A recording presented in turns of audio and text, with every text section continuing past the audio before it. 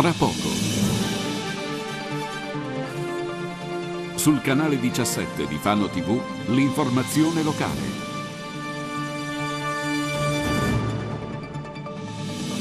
Il viaggio di Matteo Renzi in treno, la seconda tappa questa mattina a Fano, il segretario del PD elogia le Marche. Un uomo travolto da un treno in provincia di Ancona. Il Carnevale dei Bambini sarà gratuito, spiraglia anche per la Fano dei Cesari. In uscita al cinema un nuovo film in dialetto fanese, La famiglia Ordonselli, per la regia di Paolo Del Bianco.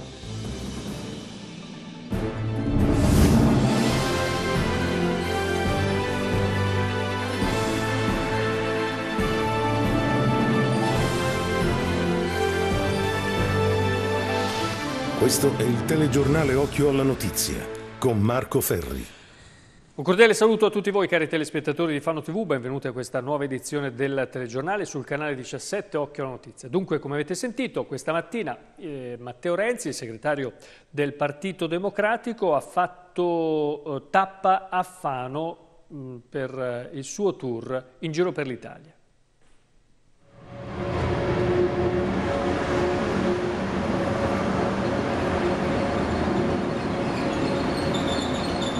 Doveva arrivare alle 8.45 di questa mattina ed invece il suo treno speciale destinazione Italia ha fatto ingresso in stazione a Fano ieri sera alle 23.20, spiazzando tutti, cronisti e testate giornalistiche, meno i soliti ben informati e gli appartenenti alla sezione fanese del PD con i relativi assessori che lo hanno aspettato sulla banchina del binario ed accolto calorosamente.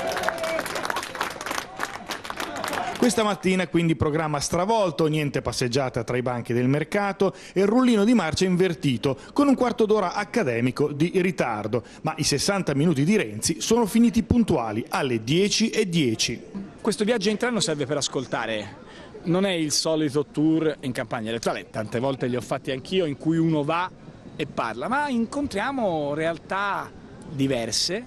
Oggi abbiamo incontrato realtà legate alle start-up, legate all'innovazione, al farmaceutico, alla cultura, alla tradizione archeologica di questa città. Dunque un viaggio nell'Italia profonda, in questo caso delle Marche, che sono una regione meravigliosa per la quale dobbiamo lavorare di più sul terremoto, ma che continueremo a seguire con grande intensità. Siamo un po' in ritardo, scusate.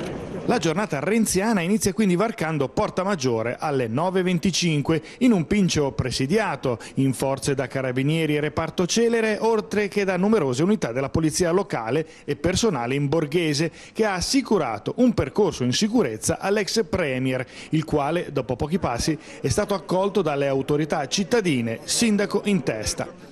Nel suo breve tragitto non ha mancato di fare un po' di pubbliche relazioni con una mamma con carrozzino che ha rischiato di essere travolta dalle truppe e dai giornalisti che lo precedevano. Tempi serrati anche per il momento culturale del suo passaggio a Fano, la visita al museo virtuale della via Flaminia. Chi è questa struttura? È in realtà comunale? Questo è il distretto culturale evoluto, è un progetto finanziato dalla regione Marche. Rapito dalle delucidazioni del professor Clini, responsabile scientifico del progetto, sulla portata tecnologica di questo spazio, ha subito calato l'asso. Ditemi cosa vi serve. Il sindaco lo informa dell'acquisizione del teatro romano. Quanto vi costa? chiede a seguito. E l'assessore Marchegiani, pensando alle potenzialità di una simile occasione, si lascia scappare un 5 milioni di euro. Possono bastare. Chissà, vedremo se il potenziale Premier si ricorderà di tutto questo. Certo è che uscendo e apponendo la firma sul registro, il commento è stato questo è il modo giusto per avvicinare i giovani alla storia e all'arte. Buongiorno, come state? Bene, avanti. E si sono fatte le 9.45 alla sala San Michele dove il rettore dell'Università di Urbino, Vilberto Stocchi, ed il direttore del Dipartimento di Biotecnologia lo attendono per mostrare gli spin-off dell'università e le start-up del settore settore scientifico e anche le esperienze di coworking create da Cora Fattori e dai suoi collaboratori come alternativa al posto fisso e per dare ai giovani che vogliono farsi spazio nell'imprenditoria un punto di partenza. Renzi chiudendo la giornata con il suo intervento su questo argomento chiude dicendo non credo che il posto fisso non ci sia più, ma la società è cambiata, o abbiamo la mentalità pronta ad aprirsi e a mettersi in gioco o non andiamo da nessuna parte.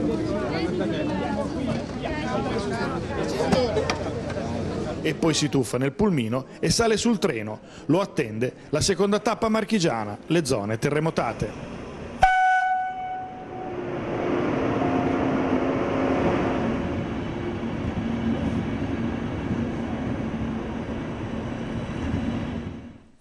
E com'è andata questa seconda tappa? Lo abbiamo chiesto anche al sindaco e agli altri amministratori presenti eh, durante l'incontro.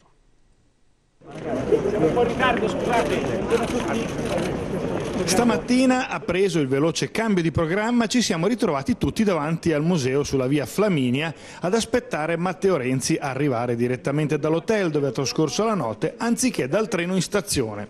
Ma dal suo staff nessuna meraviglia, ormai sono abituati ai repentini cambi di programma del segretario del Partito Democratico.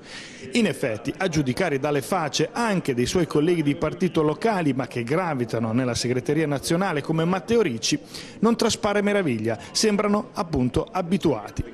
L'intero apparato locale e regionale del partito è qui ad aspettarlo assieme agli amministratori locali di appartenenza, Cecchettelli, Marchegiani, Fanesi e dal sindaco Massimo Seri nella sua istituzionale funzione di padrone di casa. È sempre un momento importante, il fatto che ci sia attenzione una, per una città e che si dedichi una tappa a Fano da figure come quella di Renzi che è già stato Presidente del Consiglio dei Ministri, segretario del Partito Democratico ma candidato candidato a guidare il prossimo governo è un momento, è un momento importante, un'occasione anche per trasmettere quelli che sono eh, i fabbisogni e le aspettative che i territori hanno, perché chi governa deve avere la capacità di leggere anche il territorio, di intuire e sapere anticipare, quindi mi sembra anche un atteggiamento maturo ed intelligente quello di fare un percorso di ascolto e non solo di racconto. Contemporaneamente però essere in grado di far funzionare realmente. Un tour, quello di Renzi, dedicato all'ascolto e agli appunti.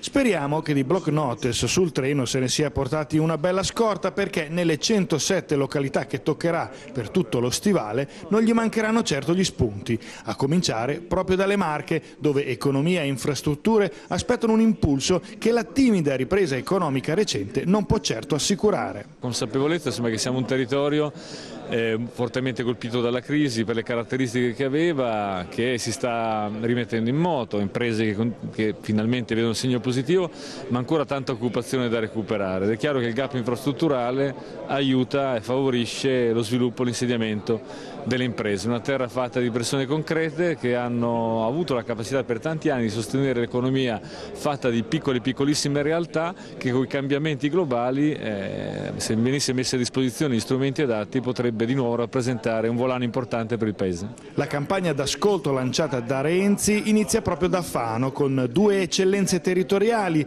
per appuntarsi nel primo dei suoi notes l'innovazione e la ricerca come fonti di sviluppo primarie. E quindi è una tappa importante anche rispetto alla nostra economia perché sappiamo che dobbiamo fortemente puntare sull'innovazione, abbiamo per fortuna belle esperienze, belle pratiche da raccontare che possono essere anche di buon esempio per tanti altri.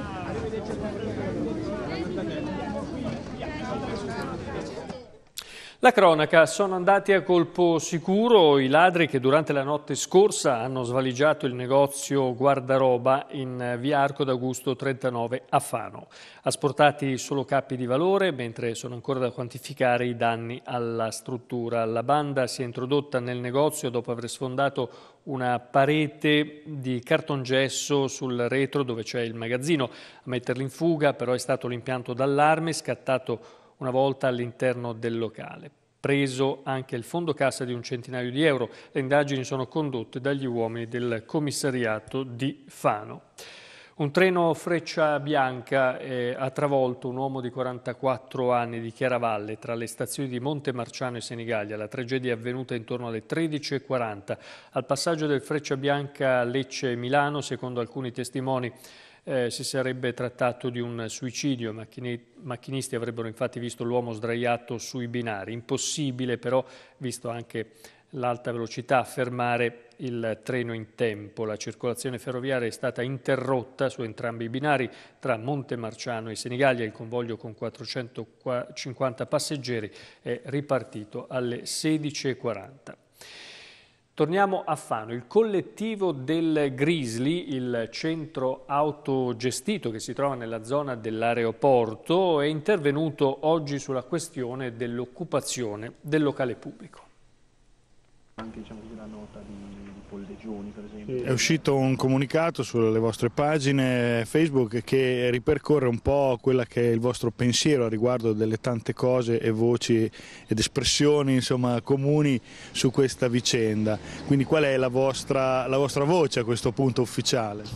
Ma rispetto all'ennesima interrogazione fatta da, dall'opposizione, dal centrodestra, noi abbiamo sempre in qualche modo lasciato correre perché sappiamo come una buonissima parte della città è consapevole che una grandissima parte delle accuse che ci vengono rivolte sono assolutamente strumentali e finalizzate solo in qualche modo ad attaccare l'amministrazione comunale, come dire veniamo noi usati per fare opposizione in sostanza.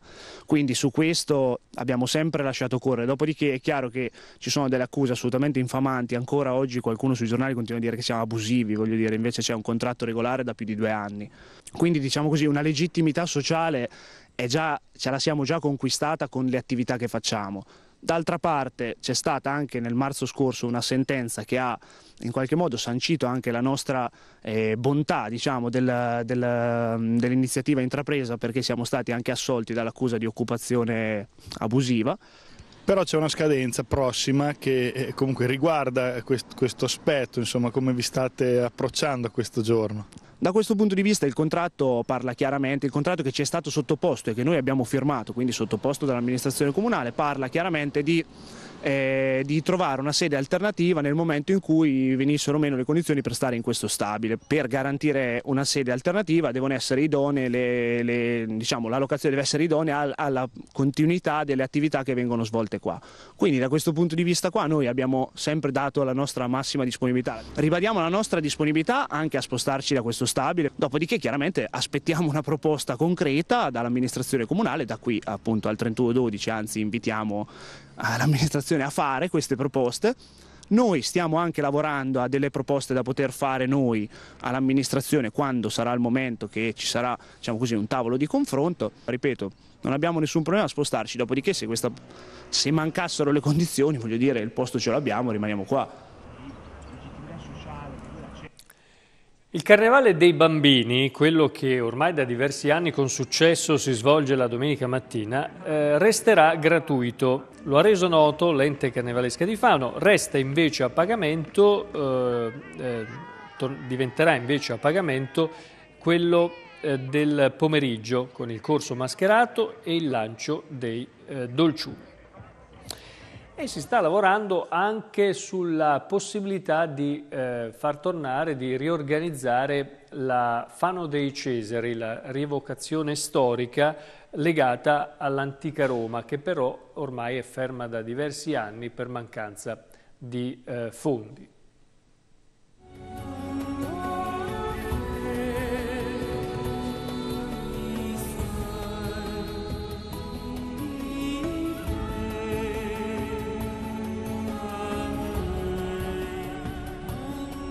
Allora, ieri c'è stato un incontro che così eh, ha fatto un po' eh, un punto su un aspetto che a molti sta a cuore, ovvero sia la, la Fano dei Cesari, la romanità, insomma, che cosa è scaturito da questo incontro? Sì, il primo tavolo tecnico in cui ci si è incontrati, parte politica e anche gli animatori di questa riedizione di una Fano romana, di una settimana a tema eh, sulla romanità che può essere molto suggestiva sulla memoria della Fano dei Cesari ma evidentemente con elementi nuovi, di novità e di perfezionamento.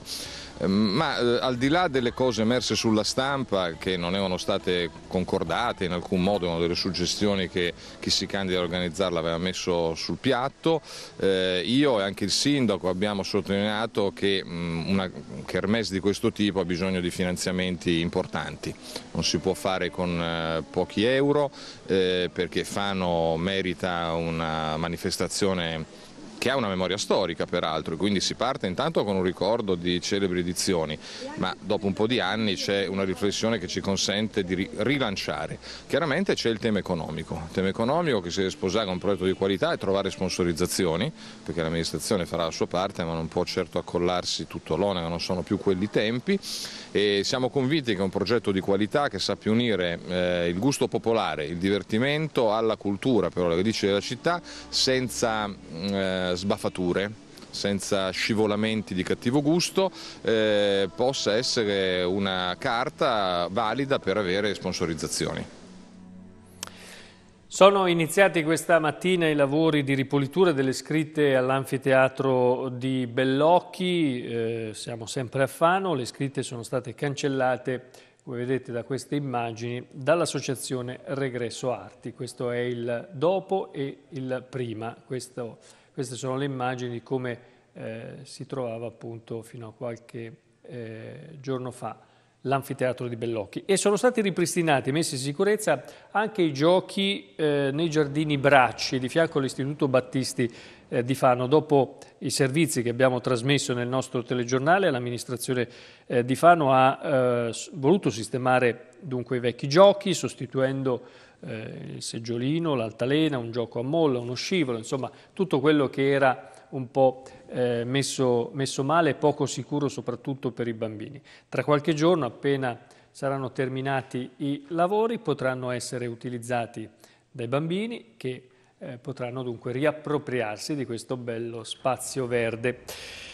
Allora, presentato questa mattina alla stampa un nuovo film in dialetto fanese. Il titolo è La famiglia Ordonselli, la regia di Paolo Del Bianco. L'ozio non è il padre dei vizi, anzi è fonte di ispirazione. Lo sa bene Paolo Del Bianco che ha creato di recente il soggetto di questo nuovo film in dialetto fanese e non solo, La famiglia Ordonselli, che presto debutterà al cinema Politeama, di cui lo stesso Del Bianco ne è regista e produttore, assieme al suo fraterno amico Ortensio Rivelli, che ne ha curato i dialoghi e la sceneggiatura. Sì, abbiamo lavorato un anno a questo progetto, eh, eh, lavorando sodo, duro, ma è stato anche veramente bello, è una bella esperienza e anche molto molto divertente. Noi speriamo anche di far divertire i fanesi che verranno al cinema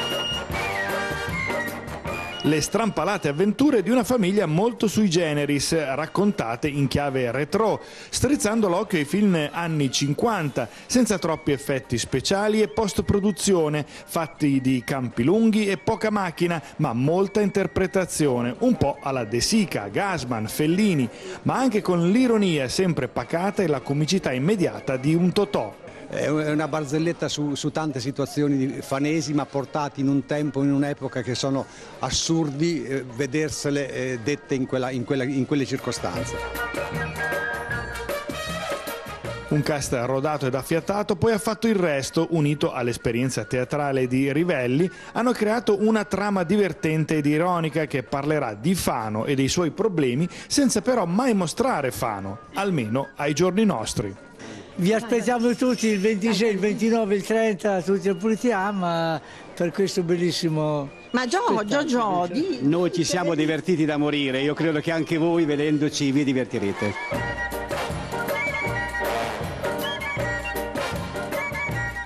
Allora, dopo il telegiornale c'è Box eh, con i personaggi di Fano di un tempo, poi in cucina con lo chef, uno speciale sul villaggio di Natale che eh, è riaperto eh, da Panicali Ambienti di Fano.